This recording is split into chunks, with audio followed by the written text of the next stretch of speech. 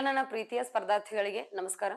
ಇವತ್ ನಾವು ಡಿಸ್ಕಶನ್ ಮಾಡ್ತಕ್ಕಂಥದ್ದು ಯಾವ್ದಿದೆ ಅಂತಂದ್ರೆ, ನಾವು ಆಲ್ರೆಡಿ ಇದಕ್ಕಿಂತ ಮುಂಚೆ ಕರ್ನಾಟಕದ ಸಂಬಂಧಪಟ್ಟಂಗಿರ್ತಕ್ಕಂತಹ ಮೂವತ್ತೊಂದು ಜಿಲ್ಲೆಗಳ ಬಗ್ಗೆ ನೋಡ್ ಬಂದ್ವಿ ಸೊ ಮೂವತ್ತೊಂದು ಜಿಲ್ಲೆಗಳ ಆದ ನಂತರ ಇವಾಗ ನಾವು ನೋಡ್ತಾ ಇರ್ತಕ್ಕಂಥ ಟಾಪಿಕ್ ಯಾವುದು ಅಂತಂದ್ರೆ ಈ ಕರ್ನಾಟಕ ಇವಿಎಸ್ ಎಸ್ ರಿಲೇಟೆಡ್ ಆಗಿರ್ಬಹುದು ಅಂದ್ರೆ ವಿಲೇಜ್ ಅಕೌಂಟೆಂಟ್ ಮತ್ತು ಪಿ ಡಿ ಒ ಸಂಬಂಧಪಟ್ಟಂಗಿರ್ತಕ್ಕಂತಹ ಕರ್ನಾಟಕ ವಿಲೇಜ್ ಅಕೌಂಟೆಂಟ್ ರಿಲೇಟೆಡ್ ಆಗಿ ಮತ್ತು ಪಂಚಾಯತ್ ಏನು ಡೆವಲಪ್ಮೆಂಟ್ ಆಫೀಸರ್ ಅಂತ ಹೇಳ್ಬಿಟ್ಟು ಏನು ಹುದ್ದೆಗಳನ್ನ ಕರೆದಿದ್ದಾರೋ, ಈ ಹುದ್ದೆಗಳಿಗೆ ಅನುಕೂಲ ಆಗ್ಲಿ ಅಂತ ಹೇಳ್ಬಿಟ್ಟು ನಾವು ಕರ್ನಾಟಕ ಇವಿಎಸ್ ಎಸ್ ಒಳಗಡೆ ಬಹಳಷ್ಟು ಇಂಪಾರ್ಟೆಂಟ್ ಭಾಗ ಆಗಿರ್ತಕ್ಕಂಥದ್ದು ಒಂದ್ ಯಾವುದು ಅಂತಂದ್ರೆ ಪಶ್ಚಿಮ ಘಟ್ಟಗಳು ಅಂತಕ್ಕಂತ ಭಾಗ. ಸೊ ಪಶ್ಚಿಮ ಘಟ್ಟಗಳು ಅಂತಕ್ಕಂಥದ್ದು ನಮ್ಮ ಭಾರತದ ಹೌದಾ ಸೊ ನಮ್ಮ ಭಾರತದ ಈ ಒಂದು ದಕ್ಷಿಣ ಭಾರತ ಸ್ಪೆಷಲಿ ದಕ್ಷಿಣ ಭಾಗದ ಪಶ್ಚಿಮದಲ್ಲಿ ಕಂಡ್ಬರ್ತಕ್ಕಂಥ ಅಂತಕ್ಕಂಥ ಅರಣ್ಯ, ದಟ್ಟವಾಗಿರ್ತಕ್ಕಂಥ ಅರಣ್ಯ ಪ್ರದೇಶನ ಏನಂತ ಕರಿತೀವಿ ಅಂತಾರೆ, ಪಶ್ಚಿಮ ಘಟ್ಟಗಳು ಅಂತ ಕರಿತೀವಿ. ಹೌದಾ? ದಕ್ಷಿಣ ಭಾರತದ ಅಂದ್ರೆ ಭಾರತದ ದಕ್ಷಿಣ ಭಾಗದೊಳಗಡೆ.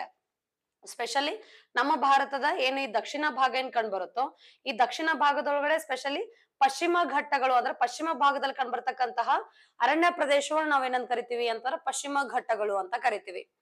ಈ ಪಶ್ಚಿಮ ಘಟ್ಟಗಳು ಅಂತಕ್ಕಂಥದ್ದು ಸ್ಪೆಷಲಿ ನಮ್ಮ ಭಾರತದ ಇ ವಿ ಎಸ್ ಮಾತ್ರ ಕನ್ಸಿಡರ್ ಆಗದೆ ನಮ್ಮ ಕರ್ನಾಟಕ ಕೂಡ ಹಂಚಿಕೆ ಆಗಿದೆ. ಟೋಟಲ್ ಆರು ರಾಜ್ಯಗಳಲ್ಲಿ ಹಂಚಿಕೆ ಆಗಿರ್ತಕ್ಕಂತಹ ಪಶ್ಚಿಮ ಘಟ್ಟಗಳು ಅಂತಕ್ಕಂತಹ ಈ ಟಾಪಿಕ್ ಕರ್ನಾಟಕದಲ್ಲಿನೂ ಕೂಡ ಹಂಚಿಕೆ ಆಗಿರೋದ್ರಿಂದ ಕರ್ನಾಟಕ ಇ ವಿ ಎಸ್ ಒಳಗಡೆ ನಾವು ಇದನ್ನ ಅಧ್ಯಯನ ಮಾಡ್ತೀವಿ. ಹಾಗಾದ್ರೆ ಏನ್ ಪಶ್ಚಿಮ ಘಟ್ಟಗಳು? ಈ ಪಶ್ಚಿಮ ಘಟ್ಟಗಳಲ್ಲಿ ಅನೇಕ ನದಿಗಳು ಉಟ್ಕೊಳ್ತವೆ ಹೌದಾ ಅನೇಕ ಸಾಮ, ಈ ಒಂದು ಜಲಪಾತಗಳನ್ನು ಸೃಷ್ಟಿ ಮಾಡುತ್ತೆ. ಅದೇ ರೀತಿ ಅನೇಕ ಸಸ್ಯವರ್ಗ ಕೂಡ ಇದೆ, ಪ್ರಾಣಿ ಸಂಪನ್ಮೂಲ ಇದೆ ಪಕ್ಷಿ ಸಂಪನ್ಮೂಲ ಇದಾವೆ ಘಾಟ್ಗಳಂತ ಬರ್ತವೆ. ಹೌದಾ? ಸೊ ಹಾಗಾದ್ರೆ ಏನ್ ಸ್ಪೆಸಿಫಿಕ್ ಆಗಿದೆ? ಪಶ್ಚಿಮ ಘಟ್ಟಗಳಲ್ಲಿ ಏನೇನ್ ಕಂಡು ಬರುತ್ತೆ ಅಂತ ಹೇಳ್ಬಿಟ್ಟು ಒನ್ ಬೈ ಒನ್ ಬೈ ನೋಡ್ತಾ ಹೋಗೋಣ. ಹಾಗಾದ್ರೆ ಪಶ್ಚಿಮ ಘಟ್ಟಗಳು ಅಂತಕ್ಕಂಥದನ್ನ ಅಥವಾ ಪಶ್ಚಿಮ ಘಟ್ಟಗಳು ಇರ್ತಕ್ಕಂಥ ಇನ್ನೊಂದ್ ಪ್ರದೇಶ, ಇನ್ನೊಂದ್ ಹೆಸರೇನು ಅಂತಂದ್ರೆ ಸಹ್ಯಾದ್ರಿ ಪರ್ವತ ಶ್ರೇಣಿ ಅಂತ ಕೂಡ ಕರೀತಾರೆ. ಪಶ್ಚಿಮ ಘಟ್ಟಗಳು ಇರ್ತಕ್ಕಂತಹ ಮತ್ತೊಂದ್ ಹೆಸರೇನು ಅಂತಾರೆ? ಸಹ್ಯಾದ್ರಿ ಶ್ರೇಣಿಗಳು ಅಥವಾ ಸಹ್ಯಾದ್ರಿ ಪರ್ವತ ಶ್ರೇಣಿಗಳು ಅಂತ ಕೂಡ ಕರೀತಾರೆ. ಹಾಗಾದ್ರೆ ಭಾರತದ ಪಶ್ಚಿಮ ಭಾಗದಲ್ಲಿ, ಅಂದ್ರೆ ನಮ್ಮ ಭಾರತದ ದಕ್ಷಿಣ ಭಾರತದ ಪಶ್ಚಿಮ ಭಾಗದಲ್ಲಿ ಕಂಡ್ಬರ್ತಕ್ಕಂಥದ್ದು ಯಾವುದು ಅಂತಂದ್ರೆ, ಈ ಒಂದು ಪಶ್ಚಿಮ ಘಟ್ಟಗಳು ಅಂತ ಕರಿತೀವಿ. ಹಾಗಾದ್ರೆ ಈ ಶ್ರೇಣಿಗೆ ಸಹ್ಯಾದ್ರಿ ಪರ್ವತಗಳು ಅಂತ ಹೇಳ್ಬಿಟ್ಟು ಏನ್ ಮಾಡ್ತಾರೆ ಅಂತಾರೆ ಕರೀತಾರೆ. ಯೂಶ್ವಲಿ ಇದನ್ನ ಸಹ್ಯಾದ್ರಿ ಪರ್ವತಗಳು ಅಂತ ಕೂಡ ಕರೀತಾರೆ. ಸೊ ಪಶ್ಚಿಮ ಘಟ್ಟಗಳು ಅಂದ್ರೂ ಒಂದೇ, ಸಾಹ್ಯಂ ಪರ್ವತ ಅಂದ್ರೂ ಒಂದೇ ನೆಕ್ಸ್ಟ್ ಸಹ್ಯಾದ್ರಿ ಬೆಟ್ಟಗಳಂದ್ರು ಕೂಡ ಒಂದೇನೆ. ಈ ಭಾಗದೊಳಗಡೆ ಸ್ಪೆಷಲಿ ಅರಬಿ ಸಮುದ್ರ ಕಂಡು ಬರುತ್ತೆ. ಅರಬಿ ಸಮುದ್ರದ ಕರಾವಳಿ ತೀರ ಪ್ರದೇಶಕ್ಕೆ ಹೊಂದ್ಕೊಂಡಂಗಿರೋದು ಯಾವುದು ಅಂತಂದ್ರ ಪಶ್ಚಿಮ ಘಟ್ಟಗಳು ಇದಾವೆ. ಹಂಗಾದ್ರೆ ಈ ಪಶ್ಚಿಮ ಘಟ್ಟಗಳು ನಮ್ಮ ಭಾರತದಿಂದ ಪಾರಂಪರಿಕ ಅಂದ್ರೆ ಯುನೆಸ್ಕೋ ಪಾರಂಪರಿಕ ಪಟ್ಟಿಯಲ್ಲಿ ಸೇರ್ ಸೇರ್ಪಡೆ ಆಗಿರ್ತಕ್ಕಂತಹ ಮೂರನೆಯ ತಾಣ ಯಾವುದು ಅಂತಂದ್ರೆ ಪಶ್ಚಿಮ ಘಟ್ಟಗಳು ಅಂತ ಹೇಳ್ತೀವಿ. ಹಾಗಾದ್ರೆ ಯುನೆಸ್ಕೋ ಪಾರಂಪರಿಕ ಪಟ್ಟಿಯೊಳಗಡೆ ಸೇರಿತಕ್ಕಂತ ಮೊದಲೇ ಮೊದಲನೇ ತಾಣ ಹಂಪಿ ಆಗಿದೆ ಎರಡನೇ ತಾಣ ಪಟ್ಟದಕಲ್ಲು ಅಂಡ್ ಮೂರನೇ ತಾಣ ಯಾವುದು ಅಂದ್ರೆ ಪಶ್ಚಿಮ ಘಟ್ಟಗಳು. ಅದೇ ರೀತಿ ನಾಲ್ಕನೇ ತಾಣವಾಗಿ ಯಾವುದು ಅಂದ್ರೆ ಹೊಯ್ಸಳೇಶ್ವರ, ಹೊಯ್ಸಳರ ದೇವಾಲಯಗಳು ಸೇರ್ಪಡೆ ಆಗಿದಾವೆ. ಹಾಗಾದ್ರೆ ನಮ್ಮ ಭಾರತದ ಏಕೈಕ ಯಾವುದು ಅಂತಂದ್ರೆ ಜೈವಿಕ ತಾಣ ಅಂತ ಕರಿತೀವಿ. ಯುನೆಸ್ಕೋ ಪಾರಂಪರಿಕ ಪಟ್ಟಲ್ಲಿ ಸೇರಿತಕ್ಕಂತಹ ಏಳು ಜೈವಿಕ ತಾಣಗಳಲ್ಲಿ ಭಾರತದ ಒಂದ್ ಯಾವುದು ಅಂತಂದ್ರೆ, ಕರ್ನಾಟಕದ ಒಂದ್ ಯಾವುದು ಅಂತಂದ್ರೆ ಈ ಒಂದು ಪಶ್ಚಿಮ ಘಟ್ಟಗಳು ಕೂಡ ಒಂದು. ಹಾಗಾದ್ರೆ ಯುನೆಸ್ಕೋ ಪಾರಂಪರಿಕ ಪಟ್ಟಿಯೊಳಗಡೆ ಸೇರ್ಪಡೆ ಆಗಿದೆ ಎಷ್ಟಲ್ಲಿ ಅಂತಂದ್ರೆ ಎರಡ್ ಸಾವಿರದ ಹನ್ನೆರಡರೊಳಗಡೆ ಯುನೆಸ್ಕೋ ಪಾರಂಪರಿಕ ಪಟ್ಟಿಯೊಳಗಡೆ ಸೇರ್ಪಡೆ ಆಗುತ್ತೆ. ಹಂಪಿ ಹತ್ತೊಂಬತ್ತರ ಎಂಬತ್ತಾರು ಪಟ್ಟದಕಲ್ ಹತ್ತೊಂಬತ್ತರ ಎಂಬತ್ತೇಳು, ಅದೇ ರೀತಿ ಪಶ್ಚಿಮ ಘಟ್ಟಗಳು ಎರಡ್ ಸಾವಿರದ ಹನ್ನೆರಡು, ಹಾಗಾದ್ರೆ ಇನ್ನೊಂದು ಯಾವುದು ಅಂತಂದ್ರೆ ಈ ಒಂದು ಹೊಯ್ಸಳೇಶ್ವರ ದೇವಾಲಯಗಳು ಎಷ್ಟೊಳಗಡೆ ಅಂತಾರ? ಎರಡ್ ಸಾವಿರದ ಇಪ್ಪತ್ತ್ ಮೂರೊಳಗಡೆ ಪಶ್ಚಿಮ ಘಟ್ಟಗಳು ಅಂದ್ವಿ ಅಂತಂದ್ರೆ ಇದು ಒಂದು ಜೈವಿಕ ತಾಣ ಏನಾಗುತ್ತೆ ಅಂತಾರ ಸೇರ್ಪಡೆ ಆಗಿದೆ ಹೌದಾ? ಜೈವಿಕ ತಾನಾಗಿ ಸೇರ್ಪಡೆ ಆಗಿದೆ ಯಾವುದು ಅಂತಂದ್ರೆ ಈ ಒಂದು ಪಶ್ಚಿಮ ಘಟ್ಟಗಳು. ಸೊ ಯುನೆಸ್ಕೋ ಪಾರಂಪರಿಕ ಪಟ್ಟಿಯೊಳಗಡೆ ಏನಾಗುತ್ತೆ ಅಂತಂದ್ರೆ ಆಡ್ ಆಗಿದಾವೆ. ಹಂಗಾದ್ರೆ ಜಗತ್ತಿನ ಎಂಟು ಹಾರ್ಟೆಸ್ಟ್ ಬಯೋಸ್ಪಿಯರ್ ಡೈವ ಬಯೋಡೈವರ್ಸಿಟಿಗಳಲ್ಲಿ ಒಂದಾಗಿದೆ. ಹೌದಾ? ಅಂತಂದ್ರೆ ಬಯೋಡೈವರ್ಸಿಟಿ ಅಂತ ಏನ್ ಕರಿತೀವಿ? ಅಥವಾ ಜೀವ ವೈವಿಧ್ಯತೆಗಳಲ್ಲಿ ಒಂದಾಗಿದೆ. ಜೀವ ವೈವಿಧ್ಯತೆಗಳಲ್ಲಿ ಎಂಟು ಹಾಟೆಸ್ಟ್ ಬಯೋಡೈವರ್ಸಿಟಿ ಅಂತ ಏನ್ ಕರಿತೀವಿ. ಎಂಟು ಜೀವ ವೈವಿಧ್ಯತೆಗಳಲ್ಲಿ ಹಾಟೆಸ್ಟ್ ಬಯೋಡೈವರ್ಸಿಟಿಗಳಲ್ಲಿ ಒಂದಾಗಿರ್ತಕ್ಕಂಥದ್ದು ಯಾವುದು ಅಂತಂದ್ರೆ ಈ ಒಂದು ಪಶ್ಚಿಮ ಘಟ್ಟಗಳು ಅಂತ ಕೂಡ ಹೇಳ್ತೀವಿ. ಅದ್ರ ಜೊತೆಗೆ ಪಶ್ಚಿಮ ಘಟ್ಟಗಳಲ್ಲಿ ಕೇರಳದೊಳಗಡೆ ಏನಂತ ಕರೀತಾರೆ ಅಂತಂದ್ರ ಸಾಹ್ಯಂ ಪರ್ವತ ಅಂತ ಕರೀತಾರೆ. ಈ ಪಶ್ಚಿಮ ಘಟ್ಟಗಳಲ್ಲಿ ಕೇರಳದೊಳಗಡೆ ಸಾಹ್ಯಂ ಪರ್ವತ ಅಂತ ಕರಿತೀವಿ. ಕರ್ನಾಟಕದೊಳಗಡೆ ಏನಂತ ಕರೀತಾರೆ ಅಂತಾರ ಸಹ್ಯಾದ್ರಿ ಬೆಟ್ಟಗಳು ಅಂತ ಕೂಡ ಕರೀತಾರೆ. ಹಂಗಾದ್ರೆ ಈ ಒಂದು ಪಶ್ಚಿಮ ಘಟ್ಟಗಳದ ಇವ ಜಿಯೋಗ್ರಫಿಕಲ್ ಇಂಡಿಕೇಶನ್ ಏನೇನಿದೆ ಅಥವಾ ಭೌಗೋಳಿಕ ಸ್ಥಾನಮಾನಗಳು ಏನಿದಾವೆ ಅಂತ ನೋಡ್ತಾ ಹೋದ್ರೆ ನಮಗ್ ಕಂಡು ಬರುತ್ತೆ. ಈ ಮ್ಯಾಪ್ ಒಳಗಡೆ ನಾವು ನೋಡ್ತೀವಿ. ಇಲ್ಲಿಂದ ಅಂದ್ರೆ ಗುಜರಾತಿನ ಸ್ವಲ್ಪ ಭಾಗದಿಂದ ಹಿಡ್ಕೊಂಡು ಗುಜರಾತ್ ಒಳಗಡೆನೂ ಕೂಡ ಕಂಡು ಬರುತ್ತೆ. ಇಲ್ಲಿಂದ ಸ್ಟಾರ್ಟ್ ಆಗತ್ತೆ. ಇಲ್ಲಿಂದ ಸ್ಟಾರ್ಟ್ ಆಗಿರ್ತಕ್ಕಂತಹ ಇಲ್ಲಿಂದ ಸ್ಟಾರ್ಟ್ ಆಗಿರ್ತಕ್ಕಂತ ಪಶ್ಚಿಮ ಘಟ್ಟಗಳೇನಾಗ್ತಾವ ಅಂದ್ರೆ ಗುಜರಾತ್ ಒಳಗಡೆ ಇದಾವ. ಗುಜರಾತಿಂದ ಕೆಳಗಡೆ ಬಂದ್ರೆ ಮಹಾರಾಷ್ಟ್ರ. ಮಹಾರಾಷ್ಟ್ರದಿಂದ ಒಂಚೂರು ಸೈಡ್ ಬೈ ಬಂತಂದ್ರೆ ಯಾವ್ದು ಅಂದ್ರೆ ಗೋವಾ. ನೆಕ್ಸ್ಟ್ ಯಾವ್ದು ಅಂತಂದ್ರ, ಅಂದ್ರೆ ಈ ಭಾಗದೊಳಗಡೆ ಇಲ್ಲಿ ಗುಜರಾತ್ ಬರುತ್ತೆ. ನೆಕ್ಸ್ಟ್ ಯಾವ್ದು ಅಂತಂದ್ರ ಮಹಾರಾಷ್ಟ್ರ. ನೆಕ್ಸ್ಟ್ ಯಾವ್ದು ಅಂತಂದ್ರ ಈ ಸೈಡ್ ನೋಡಿದ್ರೆ ಗೋವಾ, ಈ ಕಡೆ ನೋಡಿದ್ರೆ ಯಾವ್ದು ಅಂತಂದ್ರ ಕರ್ನಾಟಕ ಬರುತ್ತೆ, ಅದ್ರ ಕೆಳಗಡೆ ಕೇರಳ ಮತ್ತು ತಮಿಳ್ನಾಡು. ಸೊ ಇವಿಷ್ಟು ಕಡೆನೂ ಇರೋದು ಯಾವ್ದು ಅಂತಂದ್ರ ಇಲ್ಲಿ ಕೇರಳ ಬರುತ್ತೆ ನೆಕ್ಸ್ಟ್ ಈ ಸೈಡ್ ಏನು ಅಂತಾರ ತಮಿಳ್ನಾಡು. ಟೋಟಲ್ ಎಷ್ಟು ರಾಜ್ಯದೊಳಗಡೆ ಹಂಚಿಕೆ ಆಗಿದೆ ಅಂತಾರ ಸುಮಾರು ಆರು ರಾಜ್ಯಗಳಲ್ಲಿ ಹಂಚಿಕೆ ಆಗಿರೋದು ಯಾವ್ದು ಅಂತಂದ್ರ ಪಶ್ಚಿಮ ಘಟ್ಟಗಳು ಅಂತ ಹೇಳ್ತೀವಿ. ಇನ್ ಶಾರ್ಟ್ ಆಗಿ ನಾರ್ಮಲ್ ಅದಕ್ಕೊಂದು ಕೋಡ್ ವರ್ಡ್ ಕೂಡ ಯೂಸ್ ಮಾಡ್ತೀವಿ. ಯಾವ್ದು ಅಂತಂದ್ರ ಮಗು, ಕೇಕ್, ತುಗೋ. ಈ ಕೋಡ್ ವರ್ಡ್ ಕೂಡ ಯೂಸ್ ಮಾಡ್ತೀವಿ. ಅಂದ್ರೆ ಮಹಾರಾಷ್ಟ್ರ, ಗುಜರಾತ್, ಕೇರಳ, ಕರ್ನಾಟಕ, ತಮಿಳುನಾಡು ಮತ್ತು ಗೋವಾ. ಸೊ ಆರು ರಾಜ್ಯಗಳಲ್ಲಿ ಹಂಚಿಕೆ ಆಗಿರೋದು ಯಾವುದು ಅಂತಂದ್ರೆ ಈ ಒಂದು ಪಶ್ಚಿಮ ಘಟ್ಟಗಳು ಅಂತ ಹೇಳ್ತೀವಿ. ಹಾಗಾದ್ರೆ ಗುಜರಾತ್ ಇಂದ ಹಿಡ್ಕೊಂಡು, ಹೌದಾ? ಗುಜರಾತ್ ಇಂದ ಹಿಡ್ಕೊಂಡು ಅಪ್ ಟು ಕನ್ಯಾಕುಮಾರಿ, ತಮಿಳ್ನಾಡುವರೆಗೂ ಏನಾಗುತ್ತೆ ಅಂತರ ಪಶ್ಚಿಮ ಭಾಗದಲ್ಲಿ ಹಂಚಿಕೆ ಆಗಿದಾವೆ. ಹಂಗಾದ್ರೆ ಇಲ್ಲಿ ಯಾವ ನದಿ ತೀರದಲ್ಲಿ ಬರ್ತಾವು ಅಂತಂದ್ರ ಇಲ್ಲಿ ಗುಜರಾತಿನ ಗಡಿ ಪ್ರದೇಶ ಆಗಿರ್ತಕ್ಕಂತಹ ತಪತಿ ನದಿ ತೀರದೊಳಗಡೆ ಏನಾಗ್ತಾವು ಅಂತಂದ್ರ ಈ ಪಶ್ಚಿಮ ಘಟ್ಟಗಳ ಆರಂಭ ಆಗ್ತವೆ. ಹಾಗಾದ್ರೆ ಇಲ್ಲಿ ಏನಾಗ್ತತಿ ಅಂತಾರ ದಕ್ಷಿಣ ಭಾಗದೊಳಗಡೆ ಎಲ್ಲಾನು ಹಂತ ಹಬ್ಕೊಳ್ತಾ ಹಬ್ಕೊಳ್ತಾ ಎಲ್ಲಿ ಎಲ್ಲಿಗ್ ಬರ್ತದ್ರೆ ಇಲ್ಲಿ ತಪತಿ ನದಿಯಿಂದ ಹಿಡ್ಕೊಂಡು ಇಲ್ಲಿ ಎಲ್ಲಿ ತನ ಅಂದ್ರ ಕನ್ಯಾಕುಮಾರಿ ವರ್ಗುನು ಯಾವಿದಾವು ಅಂತಾರ ಪಶ್ಚಿಮ ಘಟ್ಟಗಳು ಇದಾವೆ ಸೊ ಪಶ್ಚಿಮ ಘಟ್ಟಗಳು ಇದಾವೆ ಹಾಗಾದ್ರೆ ಒಟ್ಟು ಎಷ್ಟು ಸಾವಿರ ಕಿಲೋಮೀಟರ್ ಇದಾವೆ? ಅಂದ್ರೆ ಎಷ್ಟು ಕಿಲೋಮೀಟರ್ ಇದೆ ಪಶ್ಚಿಮ ಘಟ್ಟಗಳು ಟೋಟಲ್ ಒಟ್ಟು ಎಷ್ಟು ಕಿಲೋಮೀಟರ್ ಹಂಚಿಕೆ ಆಗಿದಾವೆ ಭಾರತದಲ್ಲಿ ಅಂತ ನೋಡಿದ್ರೆ, ಇಲ್ಲಿಂದ ಹಿಡ್ಕೊಂಡು ಇಲ್ಲಿ ತನ ಎಷ್ಟು ಕಿಲೋಮೀಟರ್ ಇದೆ ಅಂತಂದ್ರೆ ಒಂದ್ ಸಾವಿರದ ಆರ್ನೂರು ಕಿಲೋಮೀಟರ್ ವರ್ಗುನು ವ್ಯಾಪಕ, ಆದ್ರೆ ವಿಸ್ತರಣೆ ಆಗಿರೋದು ಯಾವುದು ಅಂತಾರೆ ಪಶ್ಚಿಮ ಘಟ್ಟಗಳು ಅಂತ ಹೇಳ್ತೀವಿ. ಹಾಗಾದ್ರೆ ಪಶ್ಚಿಮ ಘಟ್ಟಗಳ, ಘಟ್ಟಗಳು ಒಟ್ಟು ಸುಮಾರು ಎಷ್ಟು ಉದ್ದ ಇದಾವು ಅಂತಾರೆ? ಒಂದ್ ಸಾವಿರದ ಆರ್ನೂರು ಕಿಲೋಮೀಟರ್ ನಷ್ಟು ಉದ್ದ ಇದಾವೆ. ನಾನು ಅವಾಗ್ಲೇ ಹೇಳಿದೆ ಸೊ ಗುಜರಾತ್, ಮಹಾರಾಷ್ಟ್ರ, ಗೋವಾ, ಕರ್ನಾಟಕ, ಕೇರಳ ಮತ್ತು ತಮಿಳುನಾಡಿನಲ್ಲಿ ಹಂಚಿಕೆ ಆಗಿರೋದು ಯಾವುದು ಅಂತಾರ ಪಶ್ಚಿಮ ಘಟ್ಟಗಳು. ಟೋಟಲಿ ಎಷ್ಟು ಅಂತಂದ್ರೆ ಆರ್ ಜಿಲ್ಲೆಗಳಲ್ಲಿ ಇಲ್ಲಿಂದ ಗುಜರಾತ್ ಇಂದ ಹಿಡ್ಕೊಂಡು ಇಲ್ಲಿ ತಮಿಳುನಾಡು ತರೋಣ ಗುಜರಾತ್ ಗುಜರಾತ್ ಕೆಳಗಡೆ ಮಹಾರಾಷ್ಟ್ರ, ಗೋವಾ, ಕರ್ನಾಟಕ, ಕೇರಳ ಮತ್ತು ತಮಿಳುನಾಡು. ಸೊ ಈ ಆರು ರಾಜ್ಯಗಳಲ್ಲಿ ಹಂಚಿಕೆ ಆಗಿರೋದು ಯಾವುದು ಅಂತಂದ್ರೆ ಪಶ್ಚಿಮ ಘಟ್ಟಗಳು ಅಂತ ಹೇಳ್ತೀವಿ. ಕರ್ನಾಟಕದಲ್ಲಿ ಕೂಡ ಹಂಚಿಕೆ ಆಗಿದೆ. ಹಾಗಾದ್ರೆ ಒಟ್ಟು ಎಷ್ಟು ಉದ್ದ ಐತಿ? ಇಲ್ಲಿಂದ ಇಲ್ಲಿ ತನ ನೋಡಿದ್ರೆ ಒಂದ್ ಸಾವಿರದ ಆರ್ನೂರು ಕಿಲೋಮೀಟರ್ ನಷ್ಟು ಏನಾಗುತ್ತೆ ಅಂತಂದ್ರೆ ಪಶ್ಚಿಮ ಘಟ್ಟಗಳು ಉದ್ದ ಇದಾವೆ. ಹಾಗಾದ್ರೆ ಒಂದು ಶ್ರೇಣಿಯ ಅರ್ಧಕ್ಕಿಂತ ಹೆಚ್ಚು ಭಾಗವು ಎಲ್ಲಿದೆ ಅಂತಂದ್ರೆ ಕರ್ನಾಟಕದೊಳಗಡೆ ಕಂಡುಬರ್ತವೆ ಅಂದ್ರೆ ಅತಿ ಹೆಚ್ಚು ಪಶ್ಚಿಮ ಘಟ್ಟಗಳು ಹಂಚಿಕೆ ಆಗಿರೋದು ಎಲ್ಲಿ ಅಂತಂದ್ರೆ ಕರ್ನಾಟಕದೊಳಗಡೆ. ಇನ್ನ ಪಶ್ಚಿಮ ಘಟ್ಟಗಳು ಒಟ್ಟು ಎಷ್ಟು ಚದರ್ ಕಿಲೋಮೀಟರ್ ಪ್ರದೇಶವನ್ನ ಆವರಿಸ್ಕೊಂಡವು ಅಂತಂದ್ರೆ ಅರವತ್ತು ಸಾವಿರ ಚದರ್ ಕಿಲೋಮೀಟರ್. ಅಂದ್ರೆ ಏರಿಯಾ ಎಷ್ಟಿದೆ? ಉದ್ದ ನಾವು ನೋಡಿದ್ವಿ. ಅದೇ ರೀತಿ ಎಷ್ಟು ಏರಿಯಾದೊಳಗಡೆ ಕವರ್ ಆಗಿದೆ ಅಂತ ನೋಡಿದ್ರೆ ಅರವತ್ತು ಸಾವಿರ ಚದರ್ ಕಿಲೋಮೀಟರ್ ಪ್ರದೇಶವನ್ನ ಏನಾಗುತ್ತೆ ಅಂತಂದ್ರೆ ಪಶ್ಚಿಮ ಘಟ್ಟ ಹೊಂದಿದೆ. ಅದೇ ರೀತಿ ಪಶ್ಚಿಮ ಘಟ್ಟಗಳು ಅರಬಿ ಸಮುದ್ರದ ಬಹು ಸಮೀಪದ ನಾವಾಗ್ಲೇ ಮೆನ್ಷನ್ ಮಾಡಿದೆ.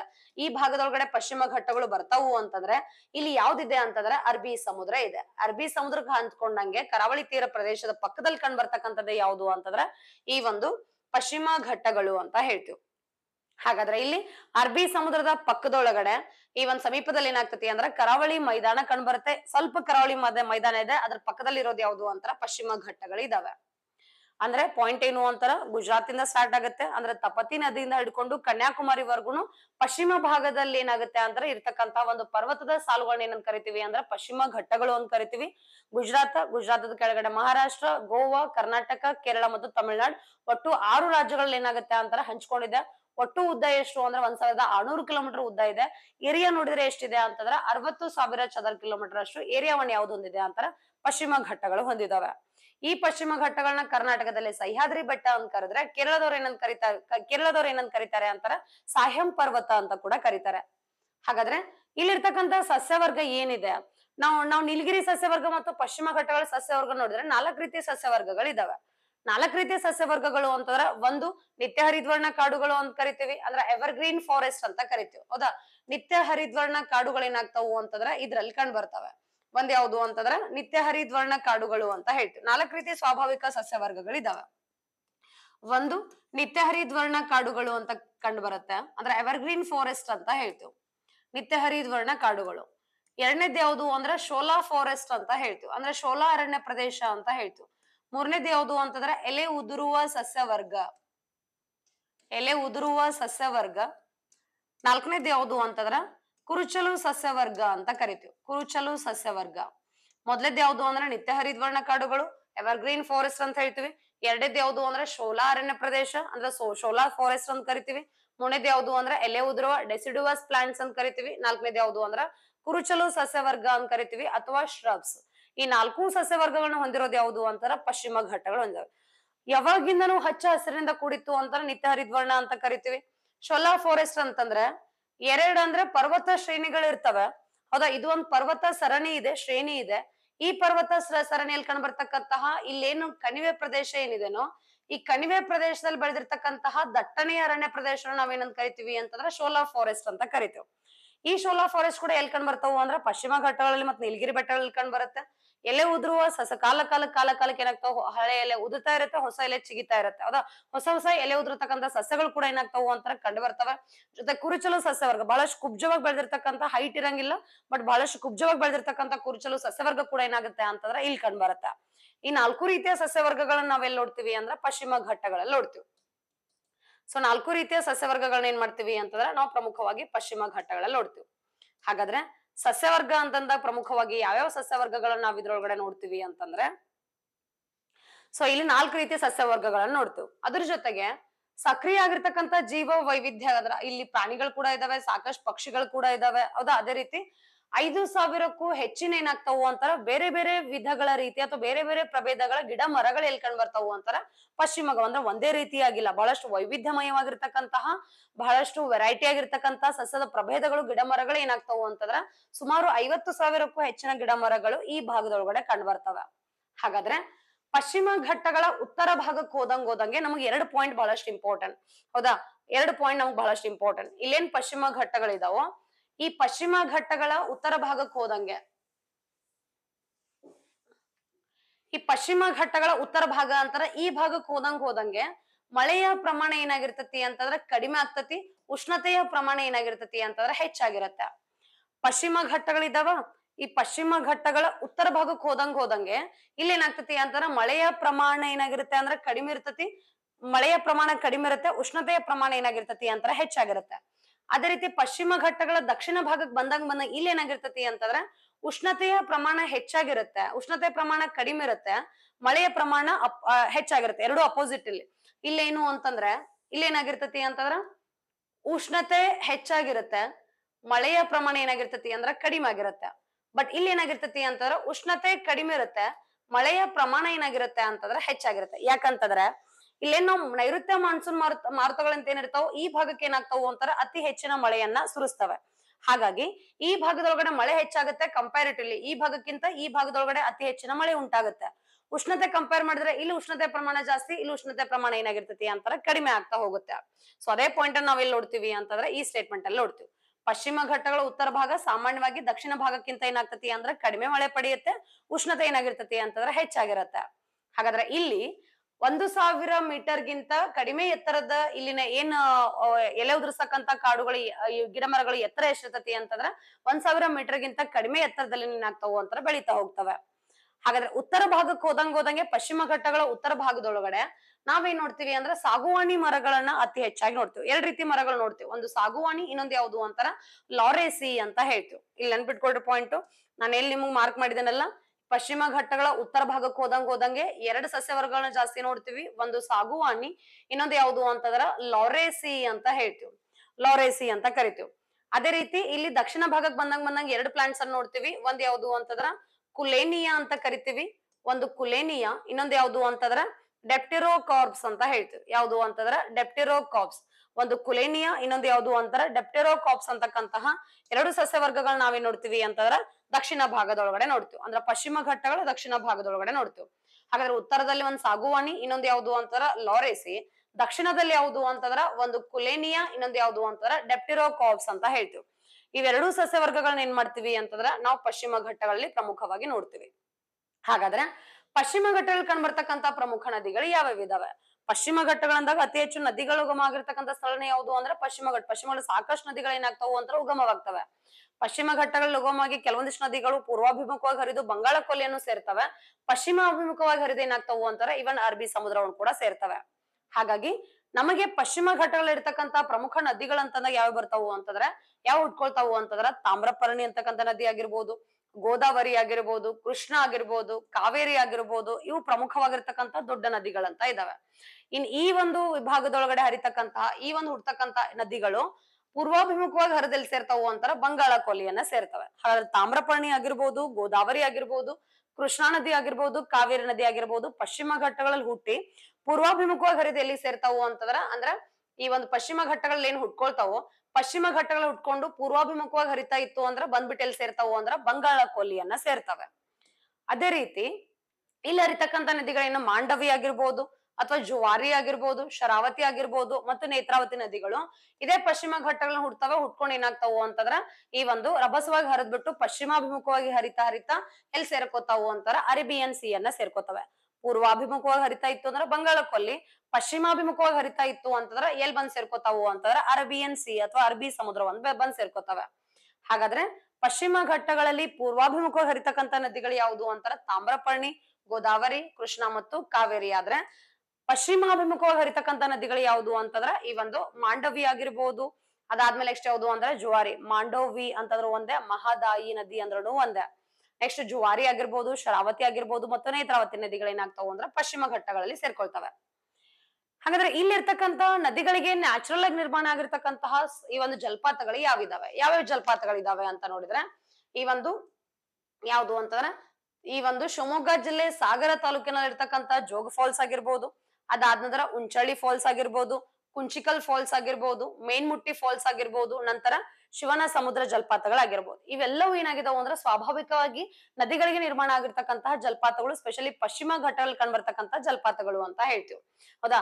ಪಶ್ಚಿಮ ಘಟ್ಟಗಳು ಏನಾಗ್ತಾವ ಅಂದ್ರ ಬಹಳಷ್ಟು ಮಳೆಯನ್ನ ಸುರಿಸ್ತವೆ. ಮಳೆ ಸುರಿದ್ಬಿಟ್ಟು ಏನಾಗ್ತತಿ ಅಂದ್ರೆ ನದಿಗಳ ಜೊತೆಗೆ ನೀರು ಸೇರ್ಕೊಂಡು ಸೊ ರಭಸವಾಗಿ ಹರಿತಾ ಹರಿತಾ ಈ ಒಂದು, ಆ ಎತ್ತರದಿಂದ ಕೆಳಗಡೆ ಬೀಳ್ತಕ್ಕಂಥ ಸಮಯದೊಳಗಡೆ ಜಲಪಾತಗಳನ್ನ ಸೃಷ್ಟಿ ಮಾಡ್ತವೆ.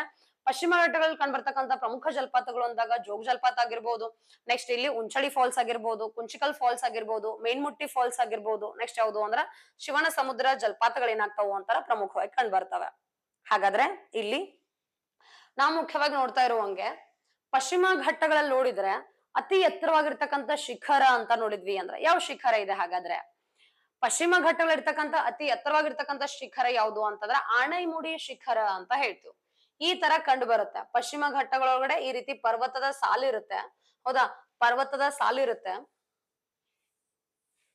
ಪಶ್ಚಿಮ ಘಟ್ಟಗಳು ಏನಾಗುತ್ತೆ ಅಂತಂದ್ರೆ ಈ ರೀತಿ ಎತ್ತರವಾಗಿರ್ತಕ್ಕಂಥ ಸಾಲಿ ಇದೆ. ಸ್ಪೆಷಲಿ ಈ ಸರಣಿ ಯಾವುದು ಅಂತಂದ್ರೆ ಇದಕ್ಕೆ ಏನಂತ ಕರೀತಾರೆ ಅಂತಂದ್ರೆ ಅಣ್ಣಾಮಲೈ ಶ್ರೇಣಿ ಅಂತ ಕರಿತೀವಿ.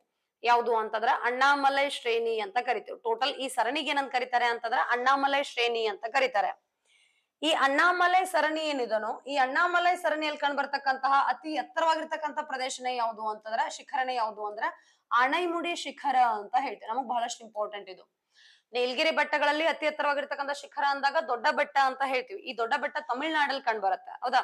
ಸೊ ನೀಲಗಿರಿ ಬೆಟ್ಟಗಳಲ್ಲಿ ಅತಿ ಎತ್ತರವಾಗಿರ್ತಕ್ಕಂಥ ಶಿಖರ ಯಾವುದು ಅಂದ್ರೆ ದೊಡ್ಡ ಬೆಟ್ಟ ತಮಿಳ್ನಾಡಲ್ಲಿ ಕಂಡು ಬರುತ್ತೆ ಆದ್ರೆ ಪಶ್ಚಿಮ ಘಟ್ಟಗಳಲ್ಲಿ ಕಂಡು ಬರ್ತಕ್ಕಂತಹ ಅತಿ ಎತ್ತರವಾಗಿರ್ತಕ್ಕಂಥ ಶಿಖರ ಯಾವುದು ಅಂತಂದ್ರೆ ಆಣೈಮುಡಿ ಅಂತ ಹೇಳ್ತೀವಿ. ಕೆಲವೊಂದಿಷ್ಟು ಎಕ್ಸಾಮ್ ಅಲ್ಲಿ ಅಣ್ಣೈಮಲೈ ಅಂತ ಮೆನ್ಷನ್ ಮಾಡ್ಬಿಡ್ತಾನೆ ಕನ್ಫ್ಯೂಷನ್ ಕ್ರಿಯೇಟ್ ಆಗುತ್ತೆ. ಅಣ್ಣಾಮಲೈ ಅಂತಕ್ಕಂಥದ್ದು ಒಂದು ಪರ್ವತದ ಸಾಲು, ಪರ್ವತದ ಸರಣಿ, ಶ್ರೇಣಿ, ಅಣ್ಣಾಮಲೈ ಶ್ರೇಣಿ. ಅಣ್ಣಾಮಲೈ ಶ್ರೇಣಿಯಲ್ಲಿ ಇರ್ತಕ್ಕಂಥ ಅಂದ್ರೆ ಪಶ್ಚಿಮ ಘಟ್ಟಗಳಲ್ಲಿ ಅತಿ ಎತ್ತರವಾಗಿರ್ತಕ್ಕಂಥ ಶಿಖರ ಆನೆಮುಡಿ ಕಂಡು ಬರೋದು ಯಾವ ಶ್ರೇಣಿಯಲ್ಲಿ ಅಂತ ನೋಡಿದಾಗ ಅಣ್ಣಾಮಲೈ ಶ್ರೇಣಿ ಅಂತ ಹೇಳ್ತೀವಿ. ಸೊ ಆಣೈಮುಡಿ ಅಂತಕ್ಕಂಥದ್ದು ಪಶ್ಚಿಮ ಘಟ್ಟಗಳಲ್ಲಿ ಅತಿ ಎತ್ತರವಾಗಿರ್ತಕ್ಕಂತಹ ಅರಣ್ಯ ಪ್ರದೇಶ ಶಿಖರ ಯಾವುದು ಅಂತಂದ್ರೆ ಅದು ಆಣೈಮುಡಿ ಅಂತ ಹೇಳ್ತೀವಿ. ಹಾಗಾದ್ರೆ ಎಲ್ಲಿ ಕಂಡು ಬರುತ್ತೆ ಅಂತಂದ್ರೆ ಕೇರಳದಲ್ಲಿ ಕಂಡು ಬರುತ್ತೆ. ಈ ಕೇರಳದಲ್ಲಿ ಕಂಡು ಬರ್ತಕ್ಕಂತ ಆಣೆಮುಡಿ ಶ್ರೇಣಿಯ ಎತ್ತರ ಎಷ್ಟು ಅಂತ ನೋಡಿದಾಗ ಎರಡ್ ಸಾವಿರದ ಆರ್ನೂರ ತೊಂಬತ್ತೈದು ಮೀಟರ್ ಎತ್ತರದಲ್ಲಿ ಯಾವ್ದಿದೆ ಅಂತಂದ್ರೆ ಈ ಒಂದು ಪಶ್ಚಿಮ ಘಟ್ಟಗಳಿದಾವೆ. ಅಂದ್ರೆ ಆಣೆಮುಡಿ ಶಿಖರ ಇದೆ. ಎಷ್ಟು ಮೀಟರ್ ಎತ್ತರದಲ್ಲಿದೆ? ಸಮುದ್ರ ಮಟ್ಟವನ್ನ ಬಿಟ್ಟು ಎಷ್ಟು ಮೀಟರ್ ಎತ್ತರದಲ್ಲಿದೆ ಅಂದ್ರೆ ಎರಡ್ ಸಾವಿರದ ಆರ್ನೂರ ತೊಂಬತ್ತೈದು ಮೀಟರ್ ಎತ್ತರದಲ್ಲಿ ಯಾವ್ದಿದೆ ಅಂತಂದ್ರೆ ಆಣೆಮುಡಿ ಶ್ರೇಣಿ ಇದೆ. ಹಾಗಾದ್ರೆ ಕರ್ನಾಟಕದಲ್ಲಿ ಈ ಒಂದು ಸಾರಿ ಕರ್ನಾಟಕದೊಳಗಡೆ ಕರ್ನಾಟಕದೊಳಗಡೆ ಪಶ್ಚಿಮ ಘಟ್ಟಗಳಲ್ಲಿ ಕಂಡು ಬರ್ತಕ್ಕಂತಹದ್ದು ಹೌದಾ? ಕರ್ನಾಟಕದೊಳಗಡೆ ಪಶ್ಚಿಮ ಘಟ್ಟಗಳಲ್ಲಿ ಕಂಡು ಬರ್ತಕ್ಕಂತಹ ಅತಿ ಎತ್ತರವಾಗಿರ್ತಕ್ಕಂಥ ಶಿಖರ ಯಾವುದು ಅಂತಂದ್ರ ಮುಳ್ಳಯ್ಯನಗಿರಿ ಅಂತ ಹೇಳ್ತೀವಿ. ನೀಲಗಿರಿ ಬೆಟ್ಟಗಳಲ್ಲಿ ಅತಿ ಎತ್ತರವಾಗಿದ್ದದ್ದು ಯಾವುದು ಅಂತಂದ್ರ ದೊಡ್ಡ ಬೆಟ್ಟ. ಪಶ್ಚಿಮ ಘಟ್ಟಗಳಲ್ಲೇ ಅತಿ ಎತ್ತರವಾಗಿರ್ತಕ್ಕಂಥ ಶಿಖರ ಯಾವುದು ಅಂತಂದ್ರ ಆಣೈಮುಡಿ. ಕರ್ನಾಟಕದ ಪಶ್ಚಿಮ ಘಟ್ಟಗಳಲ್ಲಿ ಅತಿ ಎತ್ತರವಾಗಿರ್ತಕ್ಕಂಥ ಶಿಖರ ಯಾವುದು ಅಂತಂದ್ರ ಮುಳ್ಳಯ್ಯನಗಿರಿ ಅಂತ ಹೇಳ್ತೀವಿ. ಅದ ಕರ್ನಾಟಕದಲ್ಲಿ ಏನ್ ಪಶ್ಚಿಮ ಘಟ್ಟಗಳ ಹಂಚಿಕೆ ಆಗಿದಾವು ಅಥವಾ ಕರ್ನಾಟಕದ ಎತ್ತರವಾಗಿರ್ತಕ್ಕಂಥ ಶಿಖರ ಯಾವುದು ಅಂತಾರ ಮುಳ್ಳಯ್ಯನಗಿರಿ. ಅದು ಬಿಟ್ರೆ ಏನಾಗ್ತತಿ ಅಂದ್ರ ಬಾಬಾ ಬುಡನ್ಗಿರಿ ಅಂತ ಕಂಡು ಬರುತ್ತೆ ಕುದುರೆಮುಖ ಅಂತ ಕಂಡು ಬರುತ್ತೆ, ಹೌದಾ? ಪುಷ್ಪಗಿರಿ ಅಂತ ಕಂಡು ಬರುತ್ತೆ, ಬ್ರಹ್ಮಗಿರಿ ಬೆಟ್ಟಗಳು ಕಂಡು ಬರ್ತವೆ, ಕೊಡಚಾದ್ರಿ ಅಂತಕ್ಕಂಥ ಬೆಟ್ಟಗಳು ಕೂಡ ಏನಾಗ್ತಾವು ಅಂತಂದ್ರ ಕಂಡು ಬರ್ತವೆ, ಹೌದಾ? ಕೊಡಚಾದ್ರಿ ಅಂತಕ್ಕಂತಹ ಬೆಟ್ಟಗಳು ಕೂಡ ಏನಾಗ್ತಾವು ಅಂತಂದ್ರ ಈ ಭಾಗದೊಳಗಡೆ ಕಂಡು ಬರ್ತಕ್ಕಂತ ಪ್ರಮುಖ ಬೆಟ್ಟಗಳು ಅಂತ ಹೇಳ್ತಾರೆ ಅಥವಾ ಶಿಖರಗಳು. ಹಾಗಾದ್ರೆ ಪಶ್ಚಿಮ ಘಟ್ಟಗಳಲ್ಲಿ ಇರ್ತಕ್ಕಂಥ ಅತಿ ಎತ್ತರವಾಗಿರ್ತಕ್ಕಂಥ ಶ್ರೇಣಿ ಯಾವುದು ಅಂದ್ರೆ ಅಣ್ಣಾಮಲೆ, ಶಿಖರ ಯಾವುದು ಅಂತಂದ್ರೆ ಆಣೈಮುಡಿ. ಎಷ್ಟು ಎತ್ತರದಲ್ಲಿದೆ ಅಂದ್ರೆ ಎರಡ್ ಸಾವಿರದ ಆರ್ನೂರ ತೊಂಬತ್ತೈದು ಮೀಟರ್ ಎತ್ತರದಲ್ಲಿದೆ. ಹಾಗಾದ್ರೆ ಕರ್ನಾಟಕದಲ್ಲಿ ಕಂಡು ಬರ್ತಕ್ಕಂತ ಅತಿ ಎತ್ತರದ ಶಿಖರ ಯಾವುದು ಅಂತಂದ್ರೆ ಅದು ಮುಳ್ಳಯ್ಯನ ಗಿರಿ ಅಂತ ಹೇಳ್ತೀವಿ. ಎಸ್ ಹಾಗಾದ್ರೆ ಪಶ್ಚಿಮ ಘಟ್ಟದಲ್ಲಿ ಕಂಡು ಬರ್ತಕ್ಕಂತ ಪ್ರಾಣಿ ಸಂಪನ್ಮೂಲ ಯಾವ ರೀತಿ ಇದೆ? ಪಶ್ಚಿಮ ಘಟ್ಟದಲ್ಲಿ ಕಂಡು ಬರ್ತಕ್ಕಂತ ಪ್ರಾಣಿ ಸಂಪನ್ಮೂಲ ಯಾವ ರೀತಿ ಇದೆ? ಪಶ್ಚಿಮ ಘಟ್ಟಗಳೊಳಗೆ ಸಾವಿರಾರು ತಳಿಯ ಪ್ರಾಣಿಗಳೇನಾಗ್ತಾವು ಅಂದ್ರೆ ಕಂಡು ಬರ್ತವೆ ಸಾಕಷ್ಟು ತ, ಈ ಒಂದು ಪಶ್ಚಿಮ ಘಟ್ಟ ಯಾಕಂದ್ರೆ ಸಾಕಷ್ಟು ಅರಣ್ಯ ಪ್ರದೇಶ ಹೊಂದಿರೋದ್ರಿಂದ ಇವನ್ ಪ್ರಾಣಿ ಸಂಪತ್ತು ಹಂಗೆ ಇದೆ ಪಕ್ಷಿ ಸಂಪತ್ತು ಕೂಡ ಏನಾಗಿದೆ ಅಂದ್ರೆ ಹೆಚ್ಚಾಗಿದೆ. ಸೊ ಇಲ್ಲಿ ಜಾಗತಿಕವಾಗಿ ವಿನಾಶದ ಅಂಚಿನಲ್ಲಿರ್ತಕ್ಕಂತ ಸುಮಾರು ಮೂರ್ನೂರ ಇಪ್ಪತ್ತೈದು ತಳಿಗಳ ಪ್ರಾಣಿಗಳು ಎಲ್ಲಿ ಕಂಡು ಬರ್ತಾವು ಅಂದ್ರೆ ಪಶ್ಚಿಮ ಘಟ್ಟಗಳಲ್ಲಿ ಕಂಡು ವಿನಾಶದ ಹಂಚ್ ಅಂಚಿನಲ್ಲಿರ್ತಕ್ಕಂಥ ಅಂದ್ರೆ ಎಂಡೇಂಜರ್ಡ್ ಸ್ಪೀಸೀಸ್ ಅಂತ ಏನ್ ಕರಿತೀವೋ ಅಥವಾ ಅಳಿವಿನ ಅಂಚಿನಲ್ಲಿರ್ತಕ್ಕಂಥ ಪ್ರಭೇದಗಳು ಏನಂತ ಕರಿತೀವೋ, ಅವುಗಳು ಜಾಗತಿಕ ಮಟ್ಟದಲ್ಲಿರ್ತಕ್ಕಂಥ ಪ್ರಭೇದಗಳು ಎಷ್ಟು ಇದ್ರಲ್ಲಿ ಇದಾವೆ ಪಶ್ಚಿಮ ಘಟ್ಟಗಳಲ್ಲಿ ಅಂದ್ರೆ ಸುಮಾರು ಮುನ್ನೂರ ಇಪ್ಪತ್ತೈದು ತಳಿಗಳನ್ನ, ಪ್ರಾಣಿಗಳನ್ನ ಏನಾಗುತ್ತೆ ಅಂತಾರೆ ಪಶ್ಚಿಮ ಘಟ್ಟಗಳಲ್ಲಿ ಹೊಂದಿದೆ. ಹಾಗಾದ್ರೆ ಒಂದು ನೂರ ಮೂವತ್ತೊಂಬತ್ತು ತಳಿಯ ಸಸ್ತನಿಗಳು ಕೂಡ ಏನಾಗ್ತಾವು ಅಂದ್ರೆ ಪಶ್ಚಿಮ ಘಟ್ಟಗಳಲ್ಲಿ ಕಂಡು ಬರ್ತವೆ. ಪಶ್ಚಿಮ ಘಟ್ಟಗಳಲ್ಲಿ ಒಂದು ನೂರ ಮೂವತ್ತೊಂಬತ್ತು ತಳಿಯ ಸಸ್ತನಿಗಳು ಮ್ಯಾಮಲ್ಸ್ ಕಂಡು ಬರ್ತವೆ. ಸೊ ಪಶ್ಚಿಮ ಘಟ್ಟಗಳಲ್ಲಿ ಏನಾಗುತ್ತೆ ಅಂದ್ರೆ ಕಂಡು ಬರ್ತಕ್ಕಂಥ ಪ್ರಮುಖ ಮ್ಯಾಮಲ್ಸ್ ಸಸ್ತನಿಗಳು ಅಂತ ಹೇಳ್ತೀವಿ. ಇವುಗಳ ಪೈಕಿ ಈ ಸಸ್ತನಿಗಳಲ್ಲಿ ಅಳಿವಿನಂಚಿನಲ್ಲಿರ್ತಕ್ಕಂತಹ ಸಸ್ತನಿ ಯಾವುದು ಅಂತ ನೋಡಿದಾಗ ಯಾವ್ಯಾವ ಇದಾವೆ ಅಂತಂದ್ರ ಮಲಬಾರ್ ದೊಡ್ಡ ಚುಕ್ಕೆಯ ಪುಣುಗು ಬೆಕ್ಕು ಅಂತ ಕರಿತೀವಿ. ಇಲ್ಲೇನ್ ನಿಮ್ಗೆ ಕಂಡು ಬರ್ತದಲ್ಲ? ಪುಣುಗು ಬೆಕ್ಕು. ಇದೇನಾಗ್ತತಿ ಅಂತಾರ ಅತಿ ಹೆಚ್ಚಾಗಿ ಕಂಡು ಬರುತ್ತೆ. ಅಂದ್ರೆ ಅಳಿವಿನಂಚಿನಲ್ಲಿರ್ತಕ್ಕಂತಹ ಪ್ರಾಣಿಗಳು ಪಶ್ಚಿಮ ಘಟ್ಟಗಳಲ್ಲಿ ಕಂಡು ಬರೋದು ಯಾವುದು ಅಂತಂದ್ರ ಪುಣುಗು ಬೆಕ್ಕು ಇದು ಕೂಡ ಏನಾಗುತ್ತೆ ಅಳಿವಿನ ಅಂಚಲಿರ್ತಕ್ಕಂಥದ್ದು. ಇನ್ನೊಂದು ಯಾವುದು ಅಂತಂದ್ರ ಸಿಂಗಳಿಕಗಳು ಅಂತ ಹೇಳ್ತು ಅಂದ್ರೆ ಸಿಂಹದ ಮುಖಗಳನ್ನ ಹೊಂದಿರತಕ್ಕಂತಹ, ಸಿಂಹದ ಮುಖ ತರ ಇರುತ್ತೆ. ಜಾ, ಅಂದ್ರ ಈ ಒಂದು, ಈ ತರದ ಮುಖ ಇರುತ್ತೆ. ಸಿಂಹದ ಮುಖ ತರ ಸಿಂಹದ ಮುಖ ಅಂದ್ರೆ ಸಿಂಹದ ಮುಖ ಅಲ್ಲ, ಕೋತಿ ಮುಖನೇ. ಬಟ್ ಆತರ ಏನಾಗುತ್ತೆ ಅಂತಾರ, ಈ ಹೇರ್ ಹೊಂದಿರೋದು ಜೊತೆಗೆ ಆತರ ಬಾಲ ಇರೋದು. ಸೊ ಸಿಂಗಳಿಕಗಳು ಅಂತ ಕರಿತೀವಿ ಇದಕ್ಕೆ ನಾರ್ಮಲಿ ಸಿಂಗಳಿಕಗಳು ಅಂತ ಕರೀತಾರೆ. ಸೊ ಪುಣುಗು ಬೆಕ್ಕು ಮತ್ತು ಸಿಂಗಳಿಕಗಳು ಏನಾಗ್ತಾವು ಅಂತಂದ್ರೆ, ಬಹಳಷ್ಟು ಫೇಮಸ್ ಆಗಿರೋದು. ಅಳಿವಿ ನಂಚಲಿರ್ತಕ್ಕಂಥ ಪ್ರಭೇದ ಪಶ್ಚಿಮ ಘಟ್ಟಗಳಲ್ಲಿ ಪುಣುಗು ಬೆಕ್ಕು ಮತ್ತು ಸಿಂಗಳಿಕಗಳು ಬಹಳಷ್ಟು ಫೇಮಸ್ ಆಗಿರ್ತಕ್ಕಂತ ಪ್ರಭೇದಗಳು. ಇದ್ರ ಜೊತೆಗೆ ನೀಲಗಿರಿ ಲಂಗೂರ್ ಅಂತ ಹೇಳ್ತೀವಿ. ಕೊಡಗಿನ ಕಾಡುಗಳಲ್ಲಿ, ಕೊಡಗಿನ ಕೊಡಚ ಅಂದ್ರೆ ಕೊಡಚ ಈ ಕೊಡಗಿನ ಬೆಟ್ಟಗಳೇನಿದಾವೋ ಆ ಕೊಡಗು ಜಿಲ್ಲೆಯಲ್ಲಿರ್ತಕ್ಕಂಥ ಬೆಟ್ಟಗಳಲ್ಲಿ ಯಾವ್ದು ಅಳಿವಿನಂಚಿರ್ತಕ್ಕಂಥ ಪ್ರಭೇದ ಅಂತ ನೋಡಿದ್ರೆ ನೀಲಗಿರಿ ಲಂಗೂರ್ ಜಾತಿಯ ಮಂಗಗಳು ಕೂಡ ಏನಾಗ್ತಾವು ಅಂತಂದ್ರೆ ಗಣನೀಯ ಸಂಖ್ಯೆ ಅಂದ್ರೆ ಸಾರಿ ಗಣನೀಯ ಸಂಖ್ಯೆ ಒಳಗಡೆ ಅತಿ ಹೆಚ್ಚಾಗಿ ಯಾವ್ದು ನೆಲೆಸಿದಾವೆ ಅಂತಂದ್ರೆ ನೀಲಗಿರಿ ಲಂಗೂರ್ ಜಾತಿಯ ಈ ಒಂದು ಆ ಮಂಗಗಳಲ್ಲಿ ಮಂಗಗಳು ಎಲ್ಲಿ ಕಂಡು ಬರ್ತಾವು ಅಂತಾರ ಕೊಡಗಿನ ಒಳಗಡೆ ಕಂಡು ಬರ್ತವೆ. ಅದೇ ರೀತಿ ಭದ್ರಾ ಅರಣ್ಯ ಅರಣ್ಯ ಪ್ರದೇಶ ಅಂತ ಹೇಳಿದ್ರೆ ಭದ್ರಾ, ಚಿಕ್ಕಮಗಳೂರು ಜಿಲ್ಲೆಯಲ್ಲಿ ಕಂಡು ಬರ್ತಕ್ಕಂತ ಭದ್ರಾ ವನ್ಯಜೀವಿ ಧಾಮದೊಳಗಡೆ ಇಂಡಿಯನ್ ಮುಂಟ್ ಜಾಕಗಳೇನಾಗ್ತಾವು ಅಂತಾರ ಕಂಡು ಬರ್ತವೆ. ಇಂಡಿಯನ್ ಮುಂಟ್ ಜಾಕಗಳು ಕಂಡು ಬರ್ತವೆ. ಜೊತೆಗೆ ಸಾಂಬಾರ್ ಜಿಂಕೆ ಆಗಿರ್ಬೋದು, ಕರಡಿ ಆಗಿರ್ಬೋದು, ಚಿರತೆ ಆಗಿರ್ಬೋದು, ಕಾಡು ಹಂದಿ ಮುಂತಾದ ಪ್ರಾಣಿ ವರ್ಗ ಕೇರಳ ಮತ್ತು ಕರ್ನಾಟಕದ ಪಶ್ಚಿಮ ಘಟ್ಟಗಳಲ್ಲಿ ಏನಾಗಿದಾವು ಅಂತಂದ್ರೆ ಹಂಚಿಕೆ ಆಗಿದಾವೆ. ಅದ್ರ ಜೊತೆಗೆ ಇಲ್ಲಿರ್ತಕ್ಕಂಥ ಪಕ್ಷಿ ಸಂಪನ್ಮೂಲ ಯಾವ್ದಿದೆ? ಪಕ್ಷಿ ಸಂಪನ್ಮೂಲ ಅಂತ ನೋಡಿದಾಗ ದಾಂಡೇಲಿ ಮತ್ತು ಅಂಶಿ ಒಳಗಡೆ ಏನಾಗುತ್ತೆ ಅಂತಾರ? ಗ್ರೇಟ್ ಇಂಡಿಯನ್ ಹಾರ್ನ್ಬಿಲ್ ಜಾತಿಯ ಪಕ್ಷಿಗಳು ನೆಲೆಸಿಕೊಂಡು ಇತ್ತೀಚೆಗೆ ಹಾರ್ನ್ಬಿಲ್ ಹಬ್ಬ ಕೂಡ ಆಚರಣೆ ಮಾಡ್ತೀವಿ ದಾಂಡೇಲಿ ಒಳಗಡೆ.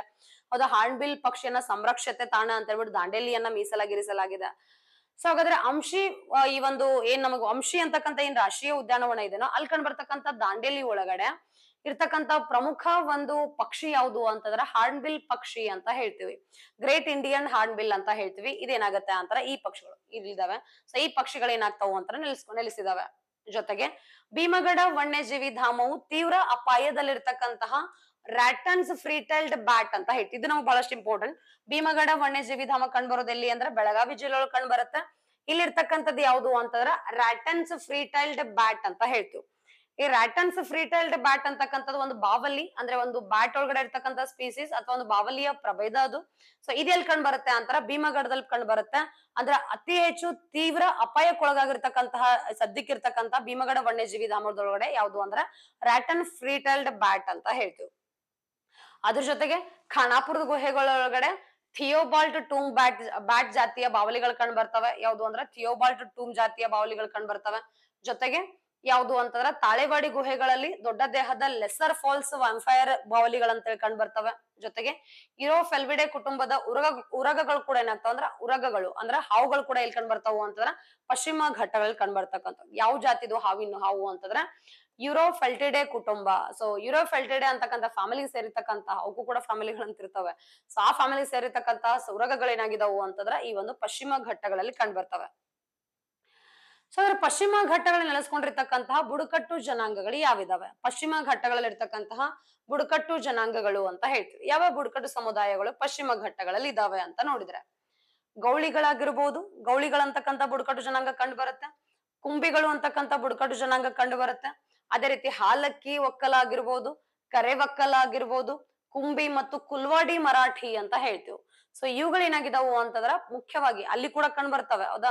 ಎಲ್ಲಿ ಅಂತಂದ್ರ ನೀಲಗಿರಿ ಬೆಟ್ಟಗಳಲ್ಲಿ ಕೂಡ ಇದಾವೆ. ಪಣಿಯಾಲು ಆಗಿರ್ಬೋದು, ಚೋಳ್ನಾಯಕ್ ಆಗಿರ್ಬೋದು ಸೊ ಅದಾದ್ಮೇಲೆ ಕುರ್ಚೈನ್ ಅಂತಕ್ಕಂಥದ್ದಾಗಿರ್ಬೋದು ಆಮೇಲೆ ನೆಕ್ಸ್ಟ್ ಯಾವ್ದು ಅಂತಂದ್ರ ಈ ಒಂದು ಎರವ ಅಂತ ಕಡೆ ಬುಡ್ಕಟ್ಟು ಜನಾಂಗ ಆಗಿರುತ್ತೆ. ತೋಡಗಳಾಗಿರ್ಬೋದು, ಬಡಗಗಳಾಗಿರ್ಬೋದು, ಅತಿ ಹೆಚ್ಚಾಗಿ ಕಂಡುಬರೋದು ಎಲ್ಲಿ ಅಂದ್ರೆ ನೀಲಗಿರಿ ಒಳಗಡೆ.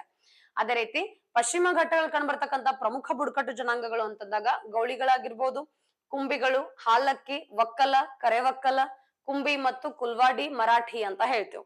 ಸೊ ಈ ಒಂದು ಜನಾಂಗಗಳು ಎಲ್ಲಿ ಕಂಡ್ಬರ್ತಾವು ಅಂದ್ರೆ ಪಶ್ಚಿಮ ಘಟ್ಟಗಳಲ್ಲಿ ಕಂಡ್ಬರ್ತಕ್ಕಂಥ ಜನಾಂಗಗಳು ಅಂತ ಹೇಳ್ತೀವಿ. ಹಾಗಾದ್ರೆ ಜನಾಂಗಗಳು ಬುಡಕಟ್ಟು ಜನಾಂಗಗಳು ಅನ್ನೋದು ತಲೆಲಿರ್ಲಿ ಸ್ವಲ್ಪ. ಬುಡಕಟ್ಟು ಜನಾಂಗಗಳು ಅಂತಂದಾಗ ಅತಿ ಹೆಚ್ಚು ನಮ್ಮ ಕರ್ನಾಟಕದೊಳಗಡೆ ಬುಡಕಟ್ಟು ಜನಾಂಗಗಳನ್ನ ಹೊಂದಿರತಕ್ಕಂತಹ, ಆ ಜಿಲ್ಲೆ ಯಾವುದು ಅಂತಂದ್ರೆ ಚಾಮರಾಜನಗರ ಜಿಲ್ಲೆ ಅತಿ ಹೆಚ್ಚು ಬುಡಕಟ್ಟು ಸಮುದಾಯವನ್ನ ಹೊಂದಿದೆ. ಇನ್ನ ಅತಿ ಹೆಚ್ಚು ಜನಸಂಖ್ಯೆನ ಹೊಂದಿರತಕ್ಕಂತ ಬುಡಕಟ್ಟು ಸಮುದಾಯ ಯಾವುದು ಅಂತ ಸೋಲಿಗರು ಅಂತ ಹೇಳ್ತೀವಿ. ಸೋಲಿಗರು ಅಂತಕ್ಕಂಥ ಜನಾಂಗ ಅತಿ ಹೆಚ್ಚು ಬುಡಕಟ್ಟು ಜನಾಂಗವನ್ನ ಜನರನ್ನ ಹೊಂದಿರತಕ್ಕಂತ ಒಂದು ಬುಡಕಟ್ಟು ಜನಾಂಗ ಯಾವುದು ಅಂತಂದ್ರೆ ಸೋಲಿಗರು. ಜಿಲ್ಲೆ ಬಂದಾಗ ಯಾವುದು ಅಂತಂದ್ರ ಚಿಕ್ಕಮಗಳೂರು ಜಿಲ್ಲೆ ಅಂತ ಹೇಳ್ತೀವಿ.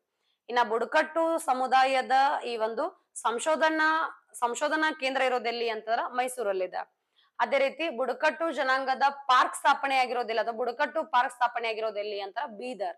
ಬುಡಕಟ್ಟು ಜನಾಂಗಗಳಿಗೆ ಸಂಬಂಧಪಟ್ಟಂಗೆ ಈ ನಾಲ್ಕು ಪಾಯಿಂಟ್ಸ್ ಅನ್ನು ಬಿಟ್ಕೊಡ್ರಿ. ಅತಿ ಹೆಚ್ಚು ಬುಡಕಟ್ಟು ಜನಾಂಗನ ಹೊಂದಿರತಕ್ಕಂತ ಜಿಲ್ಲೆ ಜಿಲ್ಲೆ ಚಾಮರಾಜನಗರ, ಅತಿ ಹೆಚ್ಚು ಜನಸಂಖ್ಯೆನ ಹೊಂದಿರತಕ್ಕಂತ ಬುಡಕಟ್ಟು ಜನಾಂಗ ಯಾವುದು ಅಂದ್ರೆ ಸೋಲಿಗರು. ಅಂಡ್ ಬುಡಕಟ್ಟು ಜನಾಂಗಗಳ ಸಂಶೋಧನಾ ಕೇಂದ್ರ ಸ್ಥಾಪನೆ ಆಗಿರೋದೆಲ್ಲಿ ಅಂದ್ರೆ ಮೈಸೂರು. ಬುಡಕಟ್ಟು ಜನಾಂಗಗಳ ಪಾರ್ಕ್ ಸ್ಥಾಪನೆ ಆಗಿರೋದೆಲ್ಲಿ ಅಂತಂದ್ರೆ ಬೀದರ್ ಒಳಗಡೆ. ಸೊ ಹಾಗಾದ್ರೆ ಈ ಒಂದು ಬುಡಕಟ್ಟು ಜನಾಂಗಗಳು ಏನಾಗಿರ್ತಾವ ಅಂದ್ರ ಮರವಲ್ಲದ ಅರಣ್ಯ ಉತ್ಪನ್ನಗಳನ್ನು ಸಂಗ್ರಹಿಸುವ ಮೂಲಕ ಅರಣ್ಯದಿಂದ ಜೀವನೋಪಾಯವನ್ನ ಪಡಿತಾ ಇರ್ತಾರೆ. ಹೌದಾ ಸೊ ಮರವಲ್ಲದ ಅರಣ್ಯ ಉತ್ಪನ್ನವನ್ನ, ಅಂದ್ರ ಮರದ ಏನು ಹಾನಿ ಮಾಡಂಗಿಲ್ಲ, ಮರವನ್ನ ಬಿಟ್ಟು ಏನ್ ಸಣ್ಣ ಪುಟ್ಟ ಸಸ್ಯ ವರ್ಗಗಳು ಇರ್ತಾವ, ಅವುಗಳಿಂದ ಏನ್ ಮಾಡ್ತಾವ್ರೆ ಅಂತಂದ್ರ, ಆ, ಜೀವನೋಪಾಯವನ್ನ ಸಾಗಿಸ್ತಾ ಇದಾವೆ, ಸಾಗಿಸ್ತಾ ಇದ್ದಾರೆ. ಸೊ ಹಾಗಾದ್ರೆ ಇಲ್ಲಿ ಕರ್ನಾಟಕದ ಪಶ್ಚಿಮ ಘಟ್ಟಗಳಲ್ಲಿ ನಾಗರಹೊಳೆ ಮತ್ತು ಕಾಕಣಕೋಟೆ ಅರಣ್ಯ ಪ್ರದೇಶಗಳಲ್ಲಿ ಅತಿ ಹೆಚ್ಚಾಗಿ ಯಾರು ಕಂಡು ಬರ್ತಾರೆ ಅಂತಂದ್ರೆ ಕಾಡು ಕುರುಬ ಮೂಲ ನಿವಾಸಿಗಳು ಕಂಡು ಬರ್ತಾರೆ ಕಾಡು ಕುರುಬರು ಅಂತಕ್ಕಂತ ಒಂದು ಮೂಲ ನಿವಾಸಿಗಳು ಜನಾಂಗ ಏನಾಗುತ್ತೆ ಅಂತಾರೆ ಕರ್ನಾಟಕದ ಪಶ್ಚಿಮ ಘಟ್ಟಗಳಲ್ಲಿ ಕಂಡು ಬರ್ತಕ್ಕಂಥದ್ದು. ಹಾಗಾದ್ರೆ ಭಾರತ ಸರ್ಕಾರ ಪಶ್ಚಿಮ ಘಟ್ಟಗಳನ್ನ ಸಂರಕ್ಷಣೆ ಮಾಡ್ಬೇಕು ಅಂತ ಹೇಳ್ಬಿಟ್ಟು ಏನ್ ಮಾಡುತ್ತೆ ಅಂತಂದ್ರ ಸಾಕಷ್ಟು ಸಮಿತಿಗಳನ್ನ ರಚನೆ ಮಾಡುತ್ತೆ. ಅದೇ ರೀತಿ ಏನ್ ಮಾಡಿದೆ ಅಂತಂದ್ರ ಈ ಒಂದು, ಆ, ಸಾಕಷ್ಟು ಕಾರ್ಯಕ್ರಮಗಳು ಕೂಡ ಜಾರಿಗೆ ತರ್ತಾ ಇದೆ. ಹಾಗಾದ್ರೆ ಯಾಕೆ ರಕ್ಷಣೆ ಮಾಡ್ಬೇಕು ಇದನ್ನ ಅಂತಂದ್ರೆ, ಪಶ್ಚಿಮ ಘಟ್ಟಗಳಲ್ಲಿ ಒಟ್ಟು ಎಷ್ಟು ಅಂತಂದ್ರೆ ಹನ್ನೆರಡು ರಾಷ್ಟ್ರೀಯ ಉದ್ಯಾನವನಗಳು ಕಂಡು ಬರ್ತವೆ. ಪಶ್ಚಿಮ ಘಟ್ಟಗಳಲ್ಲಿ ಟೋಟಲ್ ಎಷ್ಟು ಅಂತಂದ್ರೆ ಹನ್ನೆರಡು ರಾಷ್ಟ್ರೀಯ ಉದ್ಯಾನವನಗಳು ಇದಾವೆ ಹೌದಾ? ಹನ್ನೆರಡು ರಾಷ್ಟ್ರೀಯ ಉದ್ಯಾನವನಗಳು ಇದಾವೆ ಜೊತೆಗೆ ಯಾವುದು ಅಂತಂದ್ರೆ ಇಲ್ಲಿ ಎರಡ್ ಏನಾಗಿದಾವು ಅಂತಂದ್ರ ಈ ಒಂದು ಕಾಯ್ದಿಟ್ಟ ಮೀಸಲು ಪ್ರದೇಶಗಳು ಇದಾವೆ ಹೌದಾ? ಕಾಯ್ದಿಟ್ಟ ಮೀಸಲು ಪ್ರದೇಶಗಳ ಸಂಖ್ಯೆ ಎಷ್ಟು ಅಂದ್ರೆ ಎರಡು. ಅದು ಅಗಸ್ತಮಲ್ಲ ಇನ್ನೊಂದು ಯಾವುದು ಅಂತಾರ ನೀಲಗಿರಿ. ಎರಡು ಏನಾಗಿದಾವು ಅಂದ್ರ ಬಯೋಸ್ಪಿಯರ್ ರಿಸರ್ವ್ಸ್ ಇದಾವೆ. ಅದೇ ರೀತಿ ಇವುಗಳನ್ನ ಏನ್ ಮಾಡಿ, ಸಾಕಷ್ಟು ವನ್ಯಜೀವಿ ಧಾಮಗಳನ್ನ ಸಾಕಷ್ಟು ಅಭಯಾರಣ್ಯಗಳನ್ನ, ಜೊತೆಗೆ ಸಾಕಷ್ಟು ಪಕ್ಷಿ ಸಂಪನ್ಮೂಲವನ್ನ ಹೊಂದಿರೋದ್ರಿಂದ ಇದನ್ನ ಏನ್ ಮಾಡ್ತಾರೆ ಅಂತಾರ ಬಹಳಷ್ಟು ರಕ್ಷಣೆ ಮಾಡ್ಬೇಕು ಅಂತ ಹೇಳ್ಬಿಟ್ಟು ಸರ್ಕಾರ ಸಾಕಷ್ಟು ಅಭಿವೃದ್ಧಿ ಕಾರ್ಯಕ್ರಮಗಳನ್ನ ಹಾಕೊಳ್ತಾ ಇದೆ. ಅದೇ ರೀತಿ ಪಶ್ಚಿಮ ಘಟ್ಟಗಳಲ್ಲಿ ಕಂಡು ಬರ್ತಕ್ಕಂತ ಪ್ರಮುಖವಾಗಿರ್ತಕ್ಕಂತ ಘಾಟ್ಗಳು ಅಂತ ಹೇಳ್ತೀವಿ. ಅಂದ್ರೆ ಜಿಲ್ಲೆಗಳನ್ನ ಅಥವಾ ರಸ್ತೆ ವಿಭಾಗಗಳನ್ನ ಸಂಪರ್ಕ ಮಾಡ್ತಕ್ಕಂಥವಕ್ಕೆ ಏನಂತ ಕರಿತೀವಿ ಅಂತಂದ್ರೆ ಘಾಟ್ಗಳು ಅಂತ ಕಂಡ್ ಕಂಡ್ ಈ ರೀತಿ ನಾವು ನೋಡ್ತೀವಿ.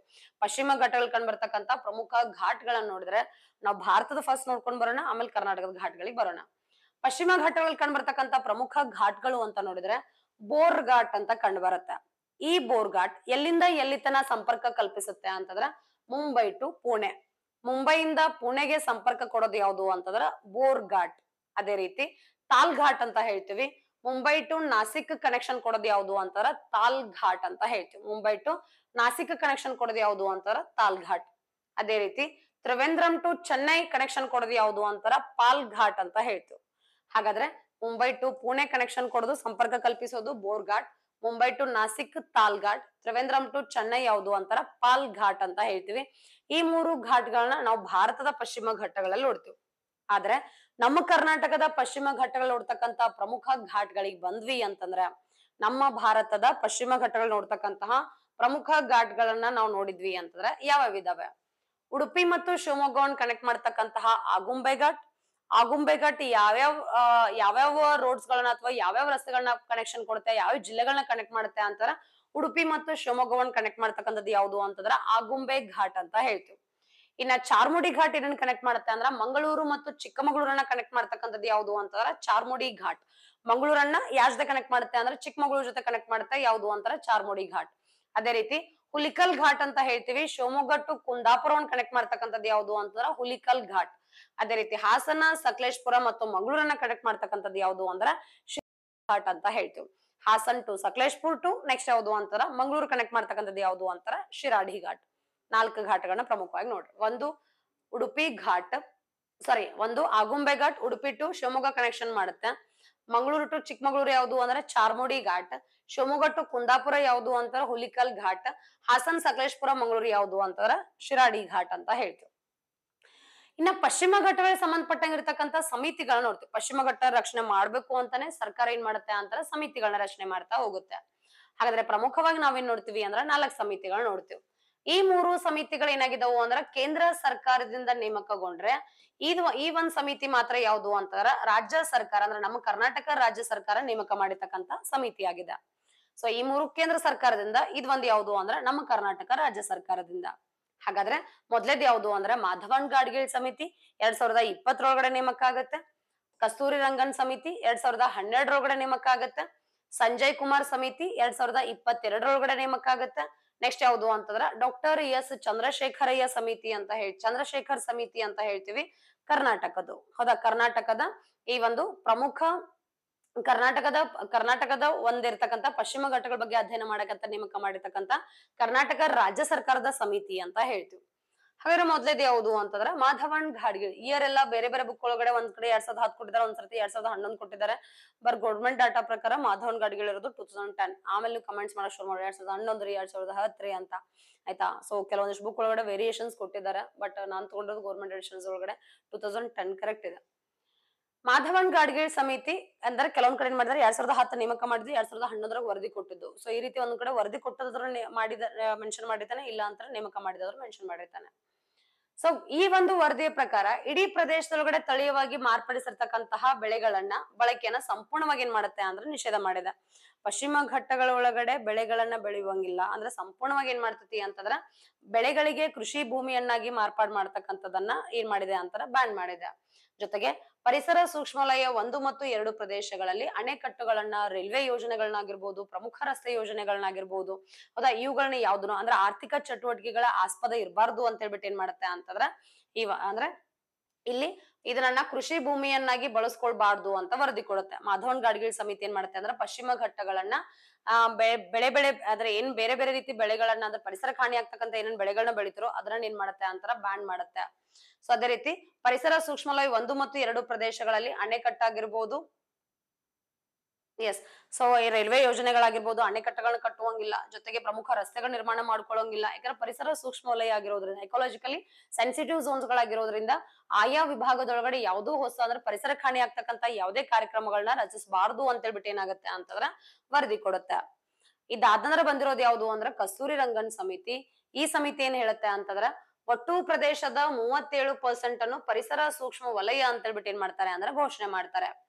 ಈ ಪರಿಸರ ಸೂಕ್ಷ್ಮ ವಲಯದೊಳಗಡೆ ಗಣಿಗಾರಿಕೆ ಆಗಿರ್ಬೋದು, ಕಲ್ಲು ಗಣಿಗಾರಿಕೆ ಆಗಿರ್ಬೋದು, ಮರಳುಗಾರಿಕೆಯನ್ನ ಸಂಪೂರ್ಣವಾಗಿ ನಿಷೇಧ ಮಾಡ್ಬೇಕು. ಹೌದಾ?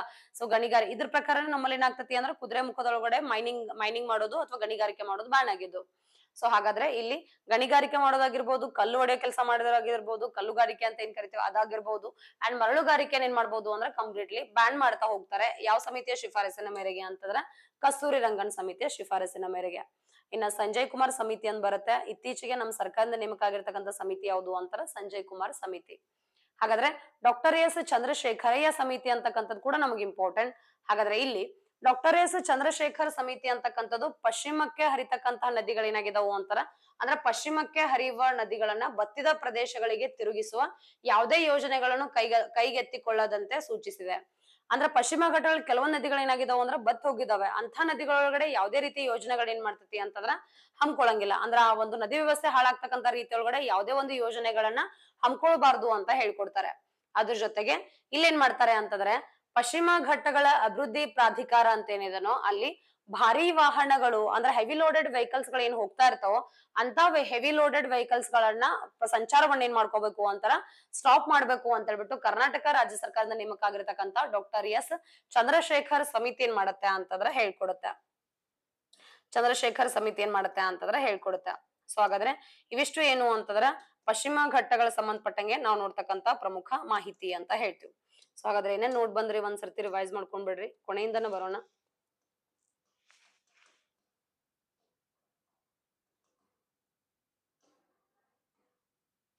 ಎಸ್ ಚಂದ್ರಶೇಖರಯ್ಯ ಸಮಿತಿ ಅಂತಕ್ಕಂತ ಒಂದ್ ಸಮಿತಿ.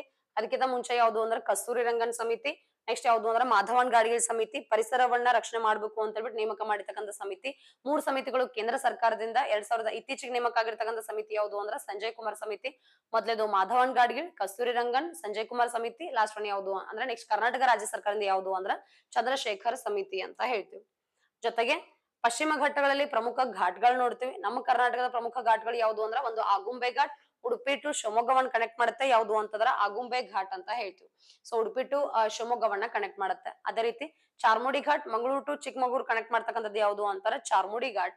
ಶಿವಮೊಗ್ಗ ಟು ಕುಂದಾಪುರ ಕನೆಕ್ಟ್ ಮಾಡ್ತಕ್ಕಂಥದ್ದು ಯಾವ್ದು ಅಂದ್ರ ಹುಲಿಕಲ್ ಘಾಟ್. ಅದೇ ರೀತಿ ಹಾಸನ, ಸಕಲೇಶ್ಪುರ ಮತ್ತು ಮಂಗಳೂರನ್ನ ಕನೆಕ್ಟ್ ಮಾಡ್ತಕ್ಕಂಥದ್ದು ಯಾವ್ದು ಅಂತಾರ Shiradi ghat.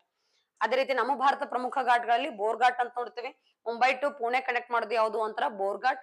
Next Mumbai to Nashik connect ಮಾಡೋದು ಯಾವ್ದು ಅಂದ್ರ ತಾಲ್ ಘಾಟ್ ಅಂತ ಹೇಳ್ತೀವಿ. ತ್ರಿವೇಂದ್ರಂ ಟು ಚೆನ್ನೈ ಕನೆಕ್ಟ್ ಮಾಡ್ತಕ್ಕಂಥದ್ದು ಯಾವುದು ಅಂತಾರ ಪಾಲ್ ಘಾಟ್ ಅಂತ ಹೇಳ್ತೀವಿ. ಈ ಮೂರು ಘಾಟ್ಗಳನ್ನ ನೋಡ್ತೀವಿ.